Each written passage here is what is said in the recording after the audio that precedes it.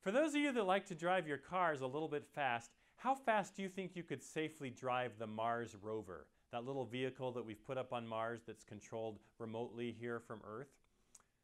Before you answer that question, remember that it takes light anywhere between 4 and 24 minutes to travel between Earth and Mars depending on the relative positions of the planets.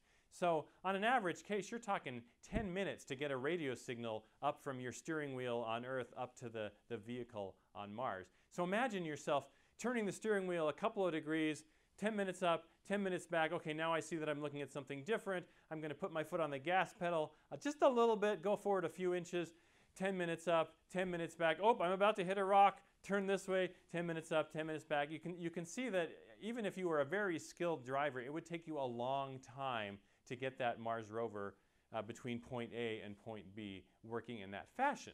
The difference, of course, is the speed of the feedback. When you're driving a regular car on Earth, you can see immediately what you're looking at when you turn. Or when you're uh, putting your foot on the gas pedal, you can feel what's, what's going on there. The speed of the feedback affects how quickly you can drive, and the speed of the feedback affects how quickly you can work in general. This applies to software development.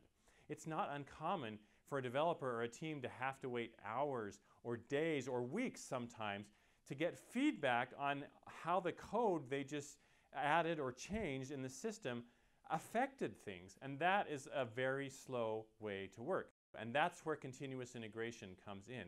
Continuous integration is about setting up fast feedback loops. We talked about fast feedback loops on your individual workstation when we talked about automated unit testing. Continuous integration is about fast feedback loops that let you know right away or very quickly about how the code you just wrote or changed uh, interacts with everybody else's code, the, the problem of integration. And as a practice, it's fairly simple. Two basic pieces of uh, two basic pieces that go into continuous integration.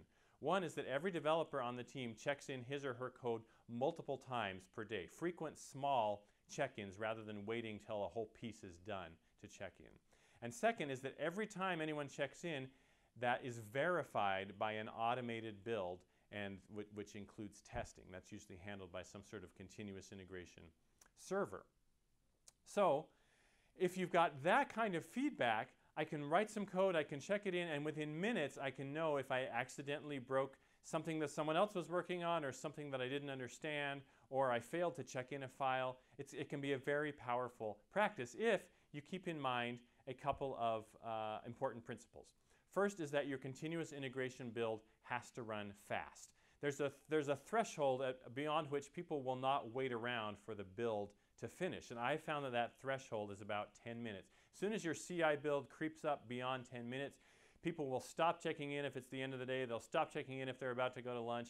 And they'll probably even go on to something else after they've checked in. They're not going to sit around and wait for the results for more than about 10 minutes. So there's a magic number there. if you can keep it to five, even better. But the build has to run quickly for it to be valuable as a feedback mechanism. Secondly, the build, the CI build has to be reliable. As soon as you get a couple of false negatives where the, the build breaks, but then you dig into it and it turns out that it's the build system itself that's not working properly, or I've got a bunch of bad tests that, that really uh, are, are telling me something's broken when something isn't, then people start to ignore the continuous integration uh, feedback.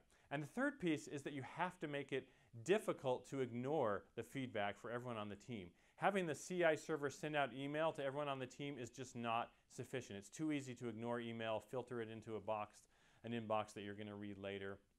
I found things like an audible siren or some other sound that plays in the team area when a, when a build breaks, or even flashing lights uh, that are red when a build breaks. Those are the kinds of things that are much harder for people to ignore. And I promise you, if you put that in place, people will fix a broken build right away because the sound or the lights or something else will drive them crazy. And that's what you want. You want a broken build to be a big deal. You want people to address it immediately. That's the power of continuous integration. So if you'd rather drive a Ferrari than the Mars rover, at least in the, in the speed at which you're able to get stuff done in your software development approach, you need an effective continuous integration strategy.